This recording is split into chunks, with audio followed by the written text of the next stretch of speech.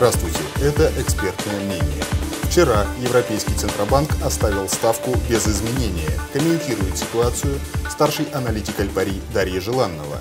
Даша, стабильность признак мастерства, либо проявление неуверенности Марио Драги? Я думаю, что в данном случае Марио Драги решил взять тайм-аут. Дело в том, что рынки ожидали дальнейшего понижения ставки, и, скорее всего, это произойдет на следующем заседании. Ситуация в еврозоне остается критической. Мы видим дальнейшее ухудшение экономической активности. Еврокомиссия снизила прогнозы по росту экономики еврозоны с 1% до 0,1%.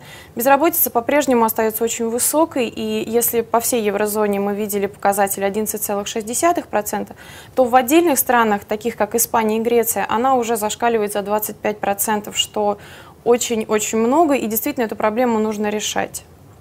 А главный поставщик негатива в еврозоне остается Греция. Вчера был принят очередной пакет по сокращению дефицита госбюджета. Простят ли Греции старые долги и дадут ли новый транш?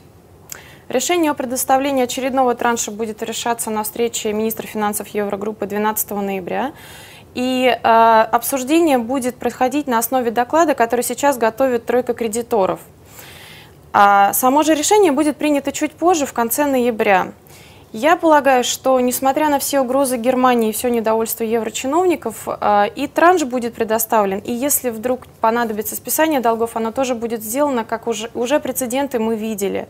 Соответственно, э, пока Германии все еще принимающие решения основные по еврозоне выгодно, чтобы Греция оставалась, и выгодно ее кормить, соответственно, транши будут поступать и долги будут списываться. Как только Германия решит, что дешевле а, либо выпустить Грецию из еврозоны, либо как вариант самой уйти, а, мы увидим, что ситуация изменится, и вот эти транши, они прекратятся.